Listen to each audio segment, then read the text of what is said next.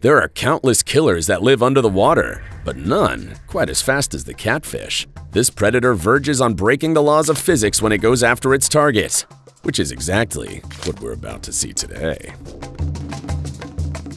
Want to see a catfish catch a carp? Tough luck, you can't. This fish is so insanely fast that you cannot see it catch its prey without slowing the clip down first. Take another look. Did you catch it? All I can say is, what a poor carp. You know that movie, Gone in 60 Seconds? This is the milliseconds version. That vacuum like mouth left the poor creature no chance to react, and I'm not sure its eyes were fast enough to catch what had just happened, even. I honestly thought the carp had escaped when I first watched this.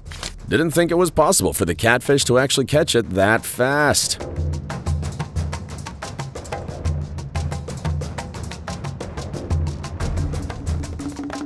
This bird's about to get a taste of the same medicine. It was chilling in the water, not realizing what type of monster was lurking underneath it.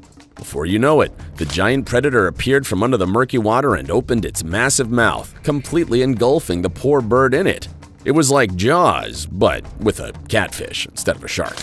Speaking of sharks, who do you think would win in a fight between a shark and a catfish? A really, really big catfish, I mean.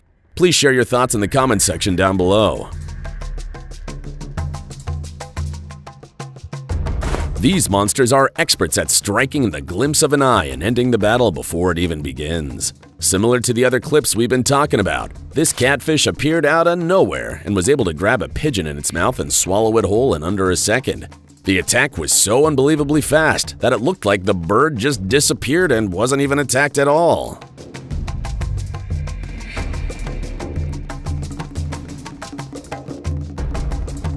City pigeons have no idea what type of predators lurk in the uncivilized world. Some sneaky catfish had rolled into town and they had no idea, thinking they were safe as long as the humans were nice to them as usual. They were chilling by the river when the catfish revealed itself, grabbing one of the pigeons and making its short existence even shorter.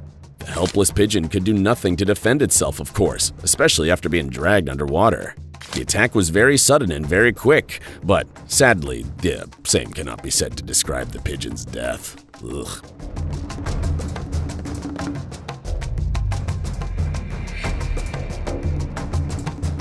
Sick of waiting for the pigeons to jump into the water, these huge catfish started leaping out of the river to grab them instead. The pigeons seemed completely clueless too, just sitting there on the edge of the river and even returning after each attack.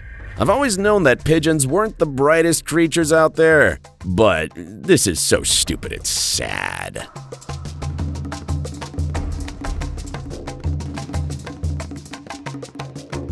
This jumbo-sized bottom feeder decided to go gourmet and nabbed itself a feathered snack. The catfish managed to gulp down everything but the bird's head, and the bird was going crazy trying to fight it off. The bird's head was sticking out of the fish's mouth like some twisted wildlife lollipop. Clearly not thrilled with its new role as a half-eaten meal, the bird went full berserker mode. It was pecking and flapping like its life depended on it, which, to be fair, it did. Meanwhile, Mr. Catfish was like, Nice try, buddy, but you're not getting away that easy. The whole scene was a mix of fascinating, horrifying, and downright bizarre. Nature, eh? Always keeping us on our toes, or fins in this case.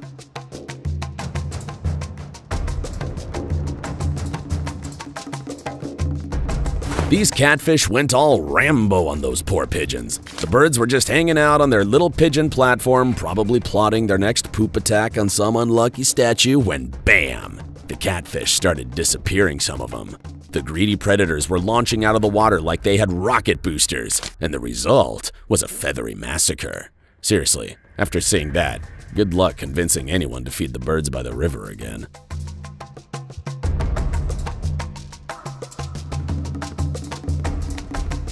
Northern pikes are just as deadly, and unfortunately for ducks, their babies are among the most tasty and most targeted creatures in the wild.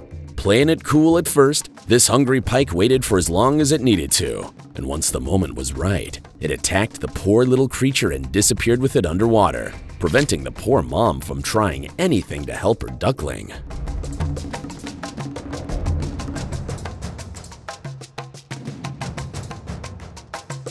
What was I just telling you? This bass spotted a group of baby ducks with their mother and couldn't help but attack them. The fish was sneaky, but the duck did notice it right before it attacked. That didn't really help though, as the fish was able to grab one of the ducklings and torpedoed away with it before anything could be done to stop it.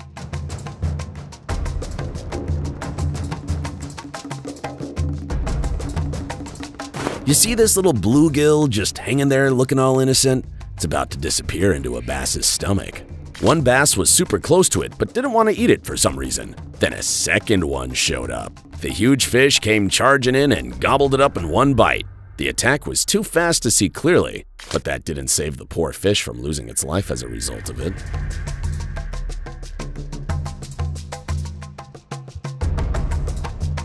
Take a look at this giant fish trying to fight off a catfish that was able to stuff its entire head inside of its mouth.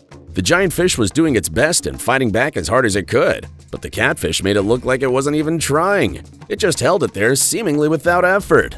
There's something truly terrifying about watching a fish that size so helpless in the mouth of a greedy predator.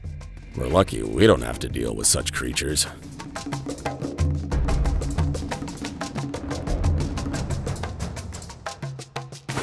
You know how pike and bass fish were going after little ducklings and terrorizing the tiny creatures?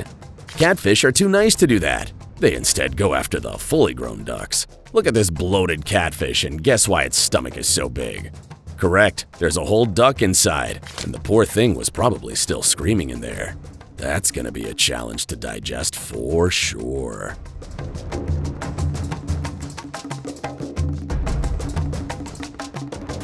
You know those moments when you just have to scratch your head and say, huh? This video's definitely one of them. A fisherman was working through a nightmare trying to catch this giant catfish, and it took him an hour and a half to reel it in. Then, this fox, the little scamp, showed up. It sees the catfish tied up and thinks, hey, maybe I can get a free meal here. So it started tugging, pulling, and pushing, trying to get the catfish closer to shore. If the fish had reached it, the foolish scavenger would have gotten swallowed alive, and it quickly realized that and backed off at the right time. Did you enjoy this video? Please let us know in the comments section down below. And don't forget to leave us a like and subscribe to the channel while you're at it.